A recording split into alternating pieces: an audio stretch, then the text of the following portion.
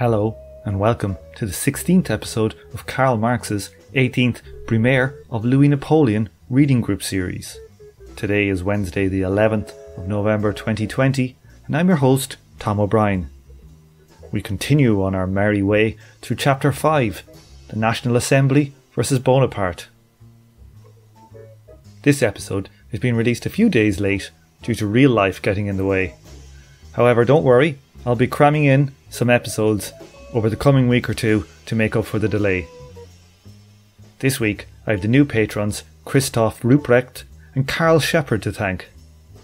If you like the show, perhaps you too could become a patron. For only 5 bucks a month, you get access to the Patreon episodes back catalogue, two episodes and live streams every month, and access to the Emancipation Network Discord. This week, the patrons will get a chance to vote on the choice for the next upcoming reading group series. So if that's your bag, head on over to Patreon and throw us a few bob. Okay, let's rejoin the discussion.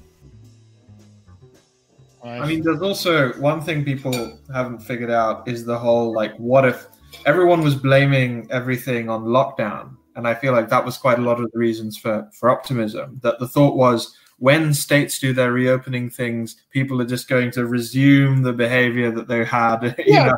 But that wasn't true in South Korea or in Sweden. Like we, our Swedish compatriots aren't here, but like they had service sector problems too without the lockdown. Because people don't go out when your fucking has a chance to kill grandmother. Like they just don't. like even in the UK and the US, like people were taking quarantine measures way before the government did ever did anything. Yeah, Right. it was. It came from the pe in the UK. The government was forced by pretty much public pressure that they gave into it. yeah, it Um, was similar here actually. I- like if it was a state level public pressure, Trump only started weighing into it. Really, It does. It does depend though on what type of granny you have, though, Derek. That's what you, you gotta you gotta admit that. Well, I mean, like, uh, I, I have a story about that, but I'm not going to get into it. I mean, I, to be completely fair, I think we've all decided that there's something worth sacrificing Granny for now, and it's not just the economy. the communist revolution, baby. Um, but um, but but I mean, Let's not go there. one of the things this Brumaire is bringing is bringing up to me though is like what happens in a time of of real capitalist chaos when the capitalists can't lead, and so whatever faction can rise up will. And uh, this is what Wayne Price was saying. Wayne Price said that um, Marx was leaning towards the Lassallean and social democratic view around the Brumaire, that the state was not a truly class organ, or he was at least struggling with it because of the rise of Louis Napoleon and his suppression of bourgeois elements and the bourgeois elements' own reversion to prior norms. You know, they basically undid everything they promised. I don't think that's true. Like, I don't think Marx gave up on the class notion of the state, but it is interesting that in these periods of chaos, where the bourgeoisie really don't seem to be in control, or like you don't have the right kind of bourgeoisie for control, right? Like they just they're PR men, they're salesmen, they're service sector people. They're not people who've had to manage masses of people in that kind of way and produce something and have that kind of But like one thing I would say, Derek, there is like that. I, I don't think the bourgeoisie would have allowed or been as complacent about like a radical leftist if that's what Bonaparte was. You know, it's only that, you know, he was a kind of bit of a schemer, but he wasn't interested in in upending the system. That like this this idea for whichever is organized, it, it tracks right. and remember that Bonaparte still has finance behind him at this point. The financiers are behind Bonaparte. Yeah, we're going to get onto that in a while. He gets his his, his financier uh, is a Fauché into his cabinet by the end of this chapter. one of the things that's interesting to me is finance is not siding with Trump. So they're talking to this, so that's another difference. Like finance, it, what what about the UK? How is Johnson siding with finance? Finance is essentially doesn't mind him. Like they didn't like Brexit, finance didn't. But once it happened, they kind of got over it fairly quickly. So now they're fo- totally fine with the Tories. Well, I, I have the feeling that, like in the United States, finance is split between. I mean, they're basically happy with either side as long as they think they can control them, and they effectively can. I mean, look at who they always stock. But that's the sector of our economy that does like tends to cozy up to the executive the most is finance, and that's even true for the left wing economy too. I mean, like not the radical left, but the center left. I mean, like finance kind of likes MMT. I think. Yeah, there's all these, you know, Ray Dalio and all these fuckers coming out with uh, stuff about how government spending, government deficit spending is good. And Soros is, you know, a major funder of MMT economics, and obviously comes from finance. He's he's he's like uh, got a whole institute that he's he's he's funding. It's like one of the it's one of the few places where you can get funding if you're a heterodox economist. Oh, this is oh, that's right. It's INET, Institute for New Economic Thinking. Yeah, I think so. Yeah. Yeah, yeah, that's that's right. I forgot about that. Yeah, they are very post Keynesian friendly. Yeah, if if you're if you're heterodox or mostly post Keynesian, then that's where you're going to get your money. Well, all I'm saying is that like I had Stephanie Kelton on as a guest way back in like I don't know 2013 or something. If Bernie had got in, I would have had an in with the Treasury Secretary. Lads, the podcast numbers could have been flying. It could have been what drove the communist revolution, not these wishy-washy protests on the street, but that interview with Stephanie Kelton. So, um, leftist grift as revolution returns in the Bernie Bros of the world. Is that what lives on in our heart? Oh yeah, baby, bring it on, bring it on. I'm telling you, the grift, the grift has been on show the last couple of weeks. Something wicked. Let's let's move it on. Will we move on to these couple of these paragraphs? Meanwhile, Bonaparte hastened to remove the war minister Hutput, to pull him off in all haste to Algiers, and to appoint General Schramm, war minister, in his place. On November 12th, he sent to the National Assembly a message of, of American prolixity, overloaded with detail, redolent of order, desirous of reconciliation, constitutionally acquiescent, treating of all and sundry, but not the burning questions of the moment. As if in passing, he made a remark that according to the express provisions of the Constitution, the president alone could depose the army.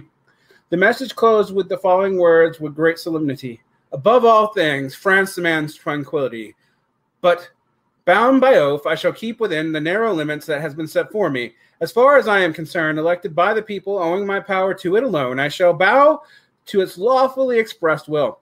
Should you resolve at this session on a revision of the Constitution, a constituent assembly will regulate the position of the executive power. If not, then the people will solemnly pronounce the decision in 1852.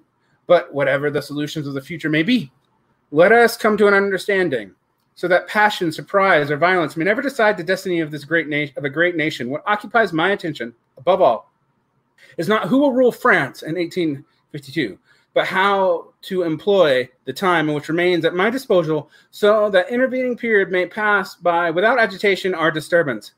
I have opened my heart to you with sincerity. You will answer my frankness with your trust, my good endeavors with your cooperation, and God will do the rest.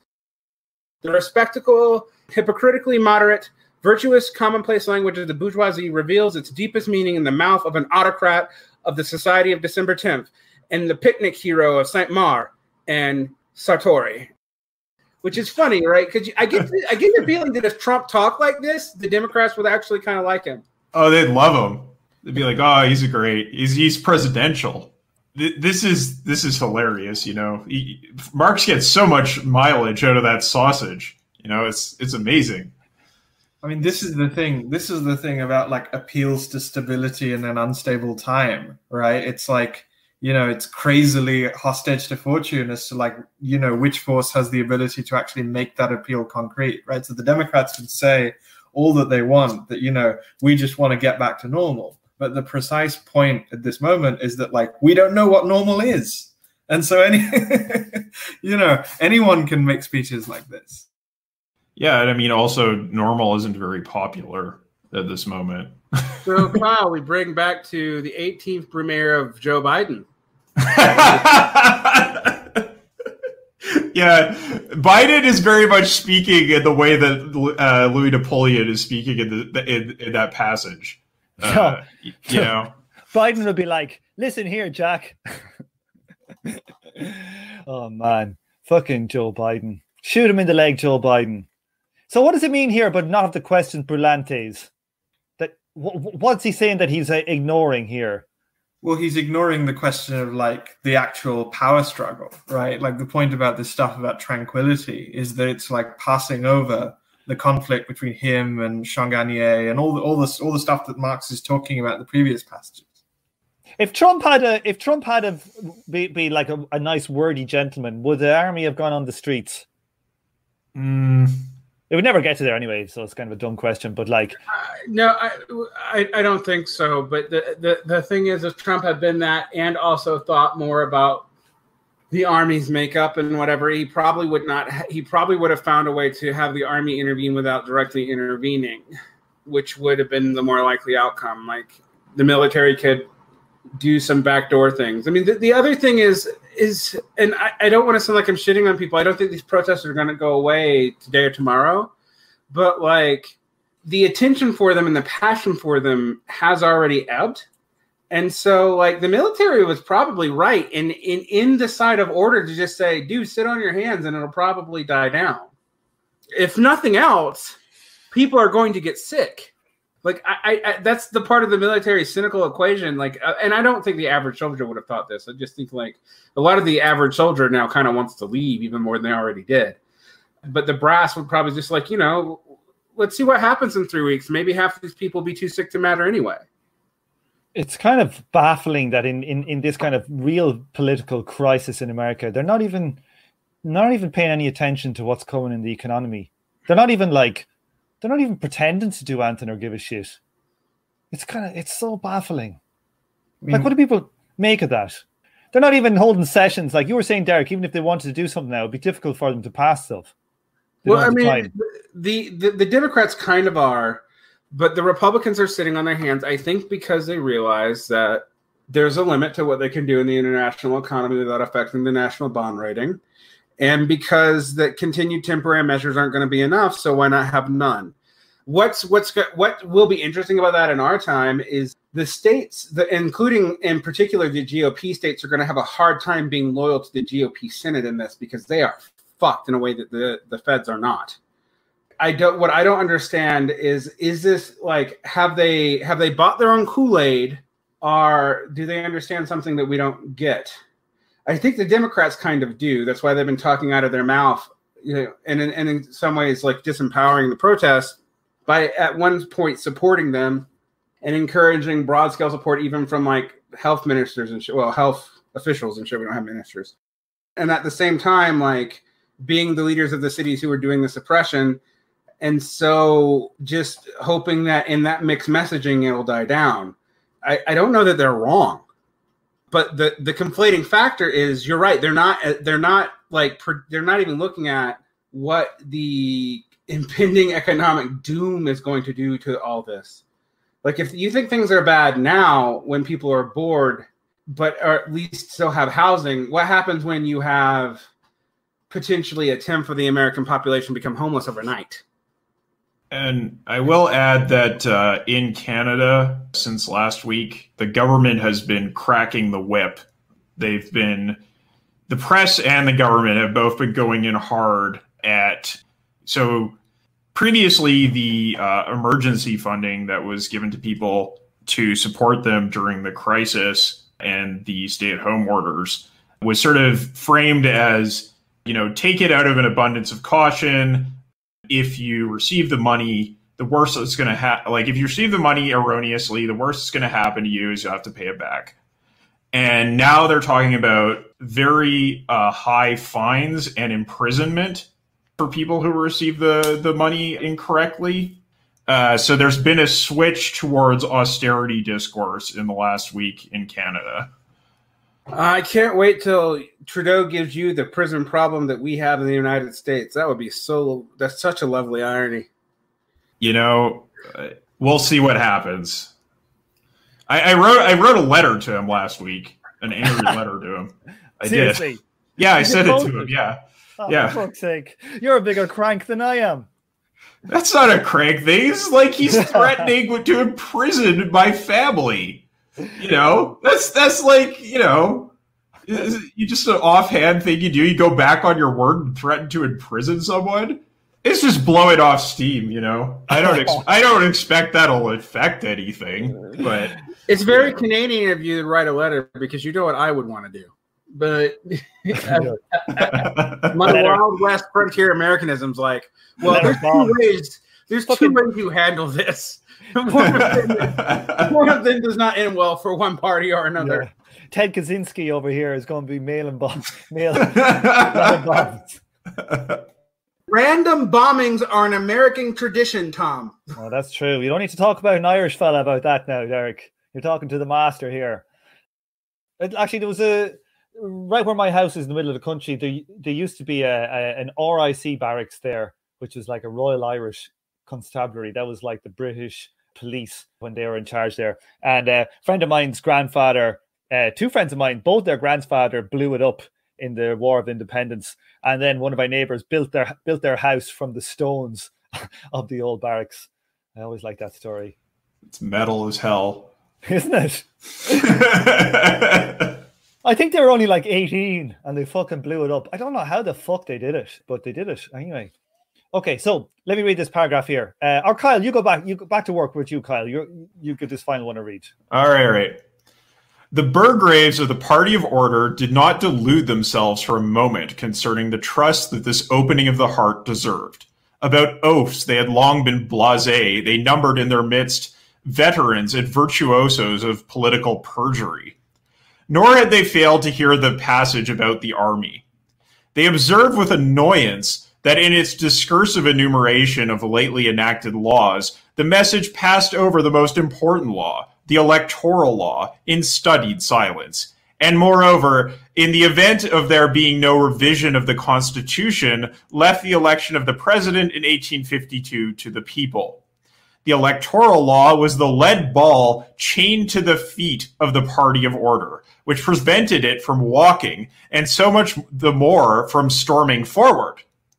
Moreover, by the official disbandment of the Society of December 10th and the dismissal of War Minister Hautpoul, Bonaparte had, with his own hand, sacrificed the scapegoats on the altar of the country.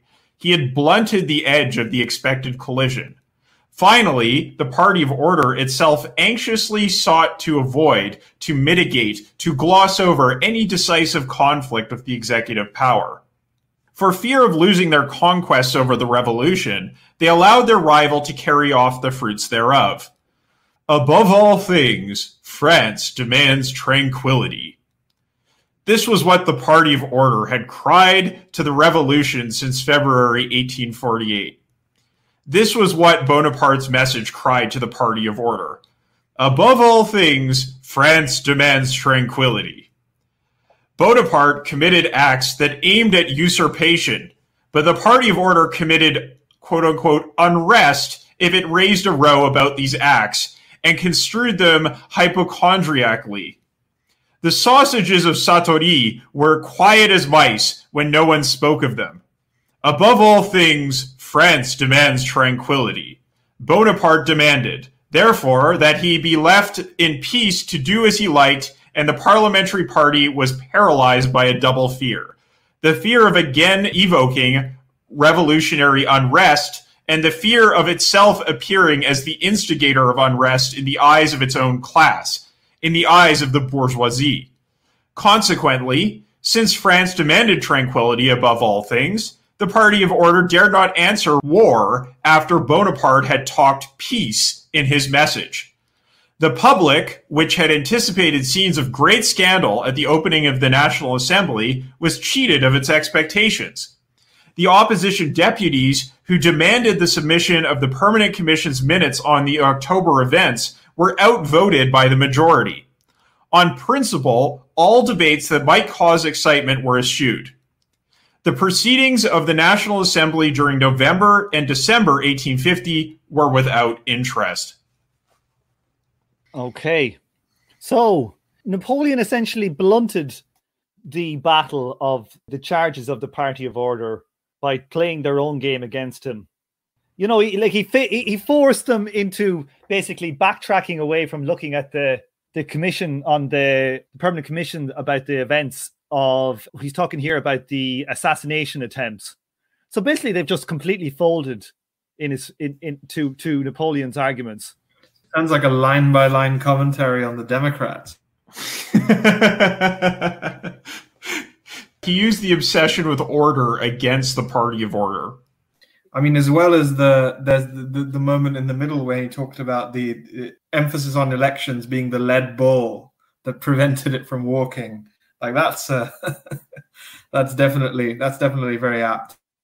I, I just find the like uh, the idea of waiting for this November election kind of eerily familiar. Yeah. Like, what, uh, do, what do people think of the like the say the political state in America currently? About people are just kind of it's like they're all on, on pausing for just waiting for this event to come in a similar fashion. I think the election itself may be without interest. It, that's kind of my feeling, but I don't know. Derek, what do you think? Like we're fucked. We're so fucked.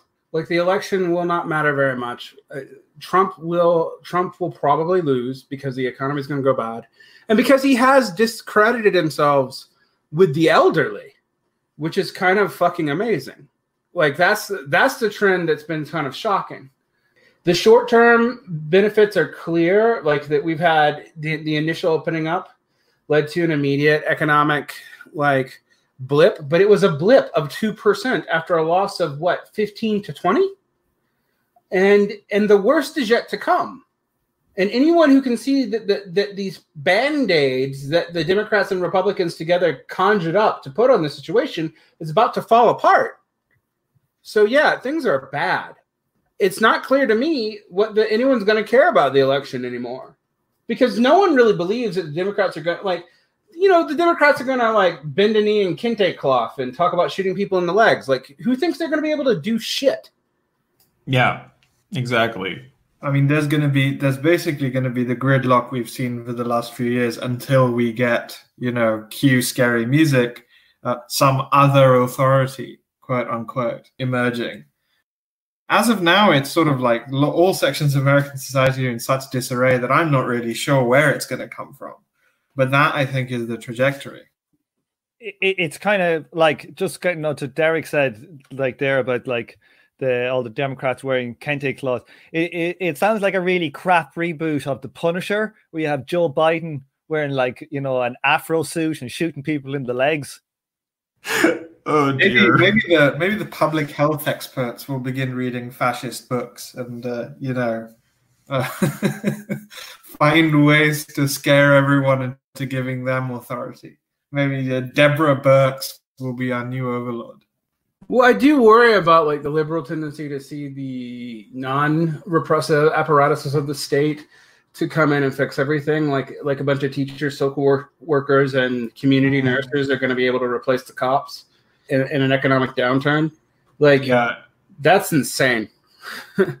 yeah. I, uh, you know, my my mother was a social worker, and I was talking to her about it, and she said, "Well, you know, the social work, like when I was a social worker, and and since then, the social workers have basically been bullied into performing police duties anyway.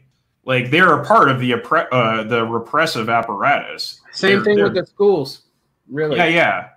I mean, and I know when people say all these things about social workers and teachers, they mean some kind of platonic ideal of health and education, but you have to work with the state you have and not with the state you haven't. hmm Well, unless you smash it, smash it, smash it, smash it. Yeah, up, exactly. Wrap it up. You know what's funny is I was like, you know, well, according to people in in Seattle, there's some kind of SoundCloud rapper warlord that everyone keeps referring to. So maybe that is the future.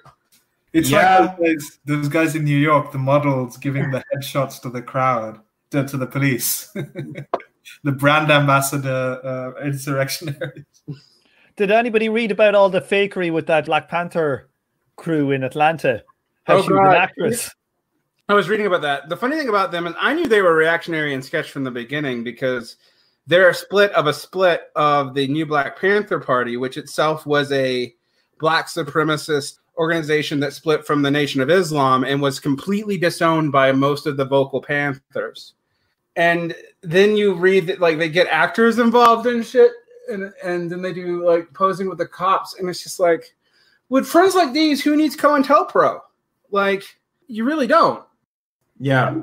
People are also kind of, I think, understating the continuity with the original Black Panthers with that stuff. You know, no, no. Uh, somebody says no, they're not NBPP. No, they weren't New Black Panther. I'm going to respond to that. They weren't New Black Panthers. They're New Black Panther revolutionaries.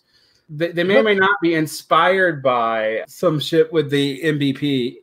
It's been actually hard for me to follow up on. I do know, however, that the most of the people who were at the actual rallies had nothing to do with the other with the group that called itself that name, and they were mostly actors and people posing. Those type of people must be getting money from somewhere. Got to be getting some weird ass money from some some weirdos. I mean, well, the thing here's the thing is there. It's hard to tell right now, and one of the things is the social media discourse doesn't help on it. But then people on the left tend to tend to like defend this shit. I actually resent having to talk about it. I don't think any of that matters no. at all. It's largely a fucking distraction. And even in Seattle, where you have this massive issue of like disparity in these super rich cities, it is very interesting to me that leftists are fucking afraid of talking about how different the situation is in like Seattle, the Bay, and New York than it is in, in Minneapolis and St. Paul because you're dealing with average incomes that are like an order of magnitude different. The other thing is in these areas, that you see the second wave, they're predominantly white by like 80%. Like that's not discussed. People don't want to discuss it. And it's it's actually kind of making me mad. It is something that's very frustrating for me because in in a place like Minneapolis, we should be talking about like that attempt to run hotels and how they got sabotaged by trying to do progressive drug policy and you know do do like clean needles and then they have one overdose because they run out of narcan and they get shut down. Like it, when occupy in london here what they did to really uh, screw it up is that the, the the police kept on dropping off loads of people with, with drug problems and homeless people and telling them to go there you know systemically. And i think any any of these places that start doing this type of stuff you know, just look to the what they did in the revolution in Egypt. They released all the prisoners. This, these are tactics that will be enacted by uh, the state when if if they feel like they need to. Yeah, you, to speak on that Egypt stuff, I, I remember talking to a former Brotherhood member um, who left um, because of how bad they had handled the situation afterwards. But they, they told me like, yeah, the, the military stood on its hands and the police did all kinds of shit. But then the military started actively throwing disorder into the into society, actively and, uh, and encouraging insane anti-Semitic conspiracies about Israel, while also taking Israel's stance towards the Palestinians more seriously, and, and stuff like that. Like, I think we're going to see a lot of that. I think we're going to see a lot of like bat fuckery in our own ranks. That are like it'll be like low level cop interference. I mean, you know, one of the things is you, you will also see a lot of like workerist try to shit on the Chaz situation, and I, I'm not optimistic about Chaz either, but like the economics of the United States cities are so fucking weird. So you either have massive gentrification problems that leads to things like Seattle and the Bay Area. And so like the intermediary working class, with the quote unquote middle class, is largely leaving those areas because they can't afford to live there. But poor people can't leave. They can't afford to leave. You know, like the very, very poor. So you have like this increasing gap in those areas. And so you have weird radicalism where you have like a strand of progressively educated, like not like would be workers, uh, would be, or maybe even would be bourgeoisie, frankly, would be high end workers who are unemployed and leading this stuff. And then you have this like big pool of people who have been completely shut out but are stuck in the area and um, that's definitely the case in Seattle. That's the case in the Bay Area. That seems to be somewhat the case in New York, although that the, they seem to handle it better. But that's a very different thing than like Minneapolis and St. Paul. If people know America, Minneapolis and St. Paul have been deracinated for a long fucking time. They're poor cities now. They're they? poor cities. Most of the most of the industrial heartland is fucking hollowed out, and so it hasn't been surprising to me that you've seen the shift of racial struggle from these hollowed out heartland cities. That was also true for Ferguson, by the way. Like, look at the map. Like from the south, which has also been largely deracinated, but has been dealing with this for so much longer and is so much more demoralized and co-opted. And and then what happens next is it moves to these kind of richer cities where the where the disparity is so much larger but it also seems like like one of the things you'll notice is the language of the stuff coming out of Minnesota is not an activist language, where the language and the stuff coming out of Seattle is. And I'm not saying that inherently is a sign of it being bad or fake or anything like that. I'm not that condescending, but it does tell you that like there's an educated left wing subculture that at least has some sway on that stuff in Seattle and the Bay and in New York that it doesn't have in Minneapolis. One of the things that I have been thinking about that's different from our time than the Brumaire is that in the Brumaire, the left was like, like Blanc was literally trying to like have a an educational dictatorship during this time period right before this led up to like train the working class to vote the right way. Didn't that sound like Joe Biden? It's the weirdest pink authoritarian shit, right? And they got totally sidelined. But the left in our time is in even more disarray. Like that was a left that hadn't come together yet. And now we're dealing with a left that has decayed largely since the fall of the Soviet Union. Uh, as a person in the chat did ask me what I mean by activist language, like if you see the second list of demands for some of the autonomous, and it may be fake, who fucking knows? It's hard to tell. From the Seattle Chaz commune, like the the minority list, it is written totally in like a critical race theory talk and stuff that you don't see in the same way from like the people seizing hotels in Minneapolis and trying to serve homeless people. Yeah, I'd say regarding Chaz that it's kind of similar to the commune in a sense because it's a situation where state authority has vacated an area and then activists come in and set something up. It seems to be what's happened. I don't know exactly how it's all going to go down, but yeah, I don't I don't think it's going to survive that long.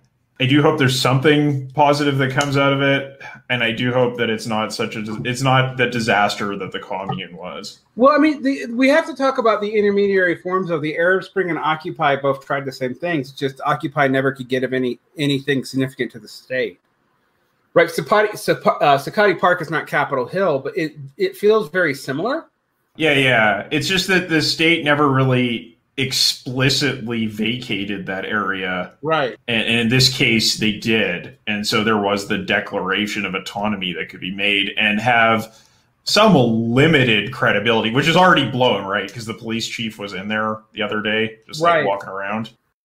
I, I think also like on like these things are only performative unless the actual working class are doing it. I mean, as in all the working like in Paris, like it was all the workers took control you know. And here we have like some activists in a particular area take control, and it's just a it's a different phenomenon. Sorry, Tom. What do you mean by all the working class? Because that's like that seems like a ridiculously high standard.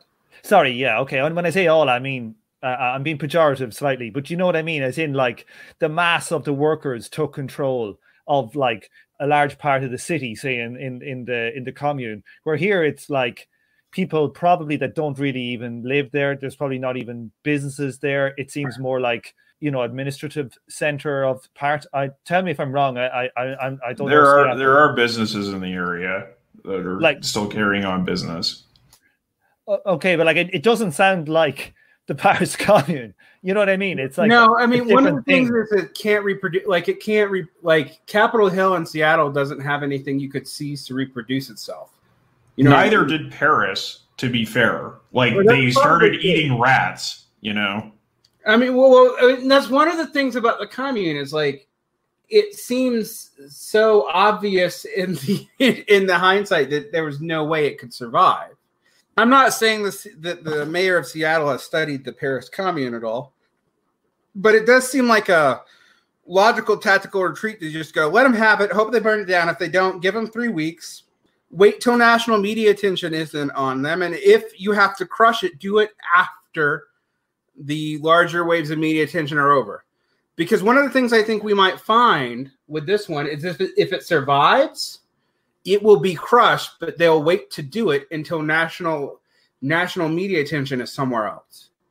Like they, they could wait, they, they might wait a long time as well to crush it. They could literally wait six months, wait till Joe Biden's in there, and then do it like when there's like Super Bowl is on or something. It's not even clear that they're going to have to crash it. right? It's possible that just collapses out of internal tensions. That's what they hope. I mean, and one of the things that I pointed out about COINTELPRO, COINTELPRO generally worked that way. The exception was the Panthers and actually right wing movements where they actively, you know, would do shit to get people killed. But most of the time, they just try to accelerate internal tension so that things would fall apart on their own. And there are plenty of those to accelerate, right? I mean, it's just the thing on on what what Tom was saying about the workers. I feel like, I mean, although I I don't disagree. Like you need to have some ability to lay your hands on something that could reproduce your revolt. I feel like though that's a little bit of putting the cart before the horse. Like the the the whole problem that everyone's trying to solve is that we don't have that, at least in places that you know where revolts and uprisings take place, or at least places where like left wing action, you know, seems to happen. So the so the problem that everyone's trying to solve on the left and has been trying to solve for a long time is how do you, you know how do you solve how do you deal with the fact that the places in which you can do anything like left politics are totally distanced from the places that are actually important to get social control, right?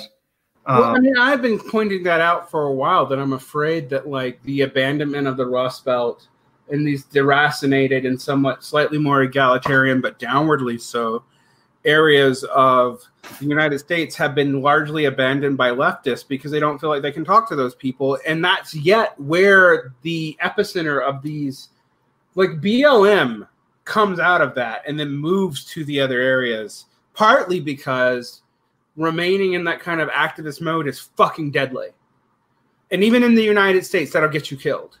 Whereas you can be a community activist in a major city, you know, talking about Black Lives Matter as adjacent to the Democratic Party, and you might even make money from it. And like, I can't even blame people for taking that gambit. You know, I wouldn't want to risk it either. Yeah, I mean, on the on the other, I agree with what you just said, Derrick. On the other side, there's like an equal problem with people in cities talking about the need to, you know, go to the Rust Belt which is true. Like that's that's that's an important. That's a thing people have to do. But it just ignores the fact that like there's a reason people in the left are in cities. What's the reason? I mean, I agree with you, but what's the reason why they're in affluent cities? Affluent cities. Well, I mean, leftist radicalization is largely a product of like you know university milieux now more and more, um, and media media hubs. Yeah, exactly. So the left that we have is not the left that we want. Yes, exactly. But like, look, look, what's the what percentage of the U.S. population would you say right now are politics are similar, either like commie, revolutionary socialists, or even just radical social democrats? Almost impossible to tell. Like, I mean, it's impossible to tell because a lot of people using those words actually mean very milquetoast things by them. But, I know, but just just your general, just a general. Would you say it's ten percent? Maybe, maybe two percent radical and then ten percent adjacent. Yeah. Yeah. So like if that's the truth, and we know that all like most of the radicals, you know, just look at who listens to my podcast, most of them are college educated, a lot of times live in cities that are the richer cities. So it's like because our actual movement is so small and it's concentrated into these small areas, it's just it's a sign of the weakness of our movement currently. You know, it's Agreed. like these these things like Chaz and Occupy are a function of the weakness. That's really what they are. In the local groups here in SLC, I'm not just talking about like Marxist groups or whatever. I'm actually talking about like groups mostly of color. Like there were circling the wagons against each other, like calling out official BLM, and then like who had the right to do that. You know, could white people call out official BLM? It, it was it was so it was so disheartening and it it took it took literally a week to get to that state and then when you know and so i'm listening to you on like your your sleep deprived ecstasy and then my experience of it here it's just like man we're so fucked like like we can't stop arguing with each other over the pettiest of shit immediately but I would I would think, Derrick, it's it's like that thing that Marx said earlier in one of the chapters where was it about the the pure Republicans? Where he was talking about like how if they were going to make the thing that they stood on against Napoleon something to do with the army, the army would never back them unless the thing was so important. And I think that similarly with all these, you know, us in, us, us too, including us and how we behave and all mm-hmm. that, it's a function of kind of the meaninglessness of what we're doing is that we don't unite. And I think that like that stuff will dissipate. It will dissipate, not to, I'm not saying it'll all go, but I think the tendency will, when things get serious and real, that it will bring together those that that are currently apart to a large extent, or just split them off. You know, actually make them an enemy as opposed to just this rubbish in oh, you know i would agree with froth. you too but I, I keep on wondering if that's going to happen soon enough before like repression happens and that's what i've been feeling lately is like that that the real movement isn't quite there yet there's still a whole lot of neutral people i mean one of the things i can tell you here and i'm in the teachers union it's the teachers union has not said a fucking word about any of this nothing it's been. Why is that? Do you think? Because one, I mean, the teachers union here is much more conservative than most of the rest of the country, considering who's going to make it up.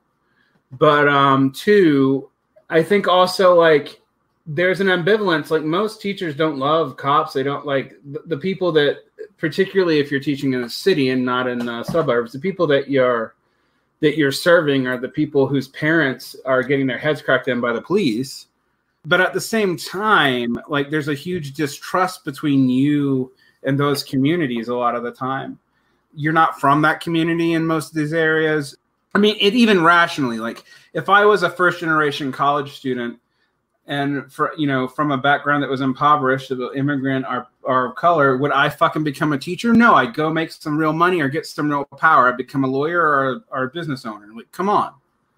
So like that's a that's kind of an issue where i'm at. And so they're strategically quiet about it. And we don't really know what to do about the fact that like in the united states i don't know the percentage but i'm i'm actually assuming the fop the fraternal the fraternal order of police is a high percentage of the 17% unionization of the country i know the largest is the teachers unions and then there's nursing unions and those are both very large and i'm suspecting that after that it's the it's the police unions the thing is, even like in most states that ban, because there are some states that ban um, public sector unions, they have to call themselves associations and can't do a lot of uniony stuff.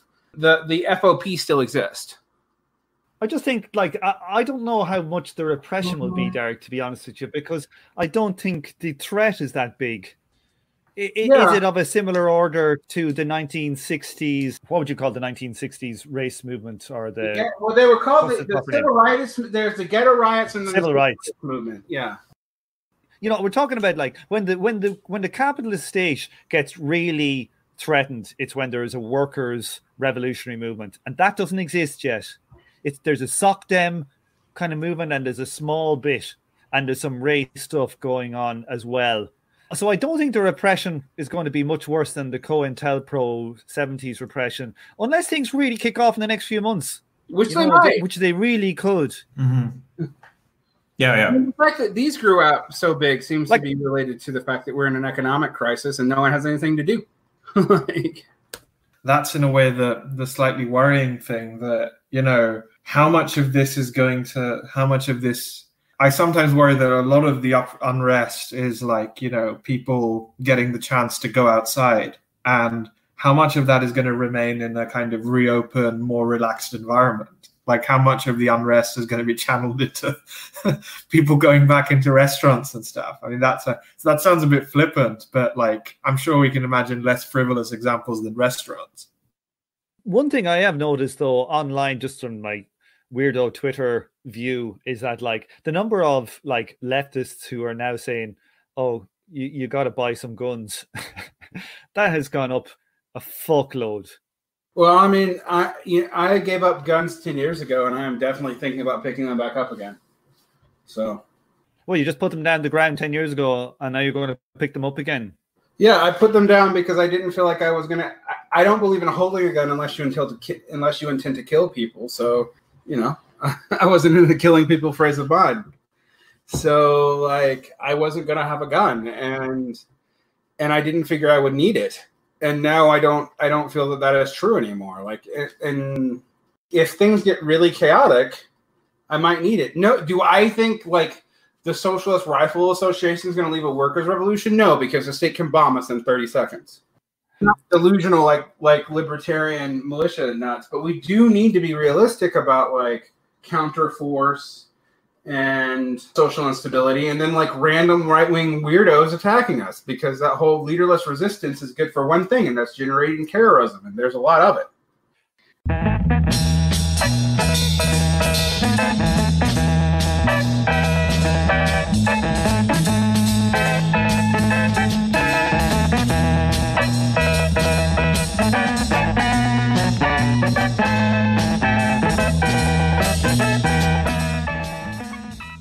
On this episode, you heard the theme tune The Order of the Pharaonic Jesters and Night of the Purple Moon by Sun Ra and his orchestra.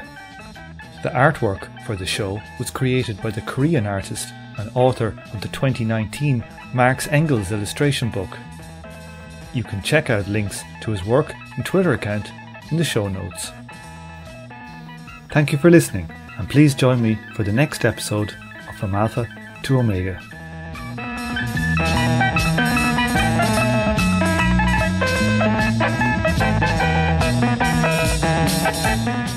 This show is a member of the Emancipation Network, a Marxist podcast and research collective. Make sure to check out our network sister podcasts General Intellect Unit, Jumpsuit Utopia, Mortal Science, and Swampside Chats.